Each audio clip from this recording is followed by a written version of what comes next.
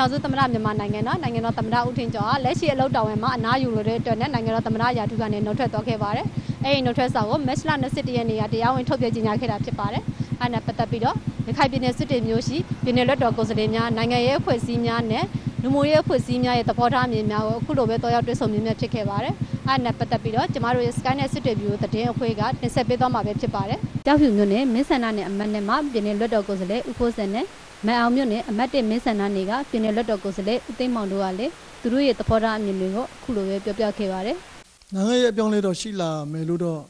မထင်ပါဘူး။ဘာကြောင့်လဲဆိုတော့အခုကကျွန်တော်တို့နိုင်ငံရဲ့အခက်အခဲကတော်တော်ကိုကြီးမားနေရလေ။ဘာကြောင့်လဲဆိုတော့အခုပြည်ချင်းငင်းချမ်းရေးကလေးပဲ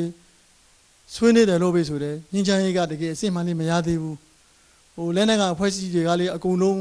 လက်မှတ်ထိုးပြီးရင် ကျွန်တော်တို့ပြည်ရင်ပြောင်းလဲရေးကိုလုပ်ပါမယ်ဆိုပြီးရင်သူတို့ကလည်းမလုပ်သေးဘူး။အဲ့လိုကိစ္စတစ်ခုရှိတယ်လို့ကျွန်တော်တို့ရခိုင်ပြည်နယ်အနေနဲ့ကလည်းပဲတစ်ဖက်ကပฏิပက္ခတွေကကြီးကြီးမားမားကိုစင်ခေါ်မှုတွေကိုခံနေရတယ်။အဲ့ဒီကိစ္စနဲ့နှစ်ခုစလုံးကိစ္စနဲ့ပတ်သက်လို့ကတော့ကျွန်တော်တို့ဒီလောလောဆယ်ကတော့အဲ့ဒီအခုလက်ရှိတာဝန်ယူမဲ့အမဒါလက်ထက်မှာတော့ပြောင်းလဲဖြစ်လာမယ်လို့မထင်ဘူးအဲ့ဒီအထက်မှာဥဝင်မြင့်ကလေ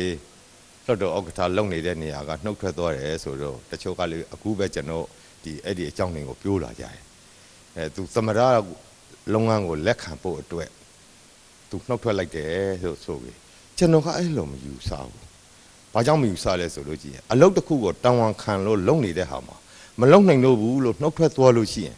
အဲ့ဒီအလုတ်ကိုမလုံနိုင်လို့လားဒါမှမဟုတ်အယုံကြည်မရှိလို့လားဆိုတဲ့အကြောင်းတရားတွေဟာပေါ်ပေါက်လာမယ်အဲ့ဒီတော့ तू မလုံနိုင်တော့ဘူးလွတ်တော်ဥက္ကဋ္ဌမလုံနိုင်တော့ဘူးဆိုလို့ရှိရင်သမ္မတလည်းမလုံနိုင်ဘူးပေါ့ဒီလိုဖြစ်ရမယ် အဲအဲ့ဒီဟာကကြမ်းကြမ်းမောင်မောင်နဲ့လုံနိုင်တယ်ဆိုရဲနဲ့ तू နှုတ်ထွက်တော့ဟာဒီအယုံကြည်မရှိလို့လို့ဆိုလို့ရှိရင်လေအဲ့ဒီလူကိုနိုင်ငံရဲ့တာဝန်ကိုပေးဖို့အရေးဟာတော်တော်တော်စဉ်းစားစရာကြီးဖြစ်မယ်လို့ကျွန်တော်ထင်တယ်လေဒါပေမဲ့အဲ့ဒီလူကိုပေးမယ်မပေးမယ်ဘယ်သူဖြစ်လာမယ်မဖြစ်လာမယ်လို့ကျွန်တော်ဒါကြီးမခံမရမခံမှပဲရစေနဲ့နော်မဟုတ်တော့ဖြစ်နေပါအောင်မယ်နော်ကျွန်တော်ကဟိုစကားတစ်ခုပြောလိုက်ရင်လွေးမသွားဖို့ကြောက်တဲ့အတွက်ကြောင့်ကျွန်တော်မပြောရတာပါဆက်လက်ပြီးရခိုင်မျိုးသားပါတီမှထွေထွေအတွင်းရင်မှုဦးထွန်းအောင်ကျော်ကလည်း နိုင်ငံတော်သမ္မတဦးထင်ကျော်နှုတ်ထွက်တာနဲ့ပတ်သက်ပြီးအခုလိုပဲပြောပြခဲ့ပါတယ်အထူးမြင်သာတာကတော့ကျွန်တော်တို့ရခိုင်ပြည်နယ်နဲ့ပတ်သက်တဲ့ကိစ္စတွေနိုင်ငံအန်တကာဖိအားတွေအများကြီးကျွန်တော်တို့ကျွန်တော်တို့ကိုယ်တိုင်ကလည်းရခိုင်ပြည်နယ်ပြည်နယ်သားတွေဖြစ်တဲ့အတွက်ကျွန်တော်တို့ကိုယ်တိုင်လည်းခံစားခဲ့ရတယ်နောက်တစ်ခုကဟိုမကြုံစဘူးပေါ့တော့အရင်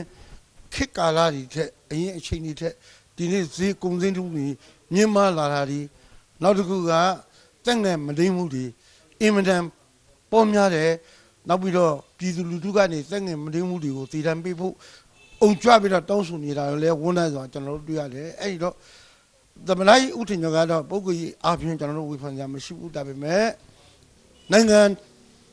ကျွန်တော်တို့ချစ်တဲ့နိုင်ငံတစ်ခုကိုတည်ငြိမ်အေးချမ်းအောင်လုပ်ဖို့အတွက်ကတော့အခုဟာနောက်တက်လာမဲ့သမဏဟာအရင်ရှင်းပြည်စုံဖို့နဲ့အုပ်ချုပ် မှုအပိုင်းမှာအတွေ့အကြုံရှိဖို့လိုတယ်လို့ကျွန်တော်တို့ကျွန်တော်ကတော့ယူဆဆအဲ့လိုလိုပဲထင်မြင်မိပါတယ်ခင်ဗျာဒါအပြင်အနောက်တကားဒေတာကုညီဆောက်ရှောက်မှုအဖွဲ့မှကိုအောင်ထေးကလည်းနောက်တက်လာမဲ့သမ္မတတယောက်အနေနဲ့ဒီသူတွေအပေါ်ကိုချင်းစာတရားထားနိုင်တဲ့သူဖြစ်ဖို့မျှော်လင့်နေလို့အခုလိုပဲပြောပါတယ်ဘယ်သူပဲတက်တက်ဒီတက်လာတဲ့အစိုးရဟာသူ့ရဲ့ဒီဟိုလူကြီးဂုံနာကားဂုံရှောက်ပါတဲ့မှာပါတဲ့အတိုင်းပြည်သူတွေပေါ်မှာ တကယ်ကိုကိုချင်းစာတရားထားနိုင်တဲ့သမ္မတမျိုးကိုလိုချင်တယ်ကျွန်တော်တို့ကအဓိကကဒီခိုင်မြန်မာနိုင်ငံကြီးဟာတိုင်းရင်းသားတွေနဲ့တည်ဆောက်ထားတဲ့ပြည်ထောင်စုကြီးဖြစ်တဲ့အတွက်ကြောင့်ပြည်ထောင်စုမှာမင်းတင်းနေတိုင်းကြတဲ့တိုင်းရင်းသားတွေကိုအလေးထားတဲ့သမ္မတမျိုးကိုကျွန်တော်တို့ကလိုချင်တယ်ဆက်လက်ပြီးပြည်နယ်လွှတ်တော်ကိုယ်စားလှယ်ဟောင်းဦးအောင်မြတ်ကျော်ကလည်းနောက်တက်လာမဲ့သမ္မတနဲ့ပတ်သက်ပြီးသူ့ရဲ့အမြင်ကိုအခုလိုပဲပြောကြားခဲ့ပါတယ်ပြောမယ်ဆိုရင်တော့ယာယီသမတကတပတ်ပဲခွေးစိတ်ပုံအရဆိုရင်တပတ်ပဲအဲသူက ခဏရဲ့အတိုးအတွင်းမှာအကြောင်းကြားစာပို့ရမယ်လို့ပြောတယ်ဆိုတာခဏရဲ့တင်းပဲတပတ်အတိုးအတွင်းမှာတော့နိုင်ငံရေးအပြောင်းလဲကအကြီးအကြီးမားကြီးသိပ်ပြောင်းလဲမေလို့တော့မထင်ပါဘူးအဲ့ဒါအခုကတော့ဒီနေ့ပဲသမတကနှုတ်ထွက်တယ်အဲဒီနေ့ပဲကျွန်တော်တို့ပြည်သူ့လွှတ်တော်ဥက္ကဋ္ဌဦးဝင်းမြင့်ကလည်းအဲနှုတ်ထွက်တယ်ဆိုပြီးအဲပြည်သူ့လွှတ်တော်မှာဟိုဟာအဆိုတင်သွင်းတော်တွေပိုင်းဟိုတွေ့ရတယ် တွေ့ရတဲ့အတိုင်းအတိုင်းတာရကတော့အခုနောက်ထပ်တက်လာမယ့်သမ္မတကတော့ပွင့်ပွင့်လင်းလင်းပြောရရင်အခုပြည်သူ့လွှတ်တော်ဥက္ကဋ္ဌဦးဝင်းမြင့်ပဲဖြစ်ဖို့များတယ်လို့ကျွန်တော်တို့အနေနဲ့သုံးသပ်တာပေါ့